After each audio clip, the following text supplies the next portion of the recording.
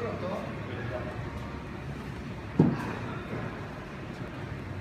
Chiaro, eh? Quest'audio? Questo ce lo devo